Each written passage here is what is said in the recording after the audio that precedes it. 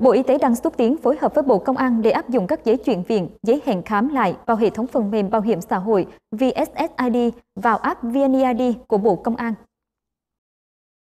Theo đó, sẽ có hai hướng để áp dụng là thứ nhất, quy định trách nhiệm của cơ sở khám chữa bệnh.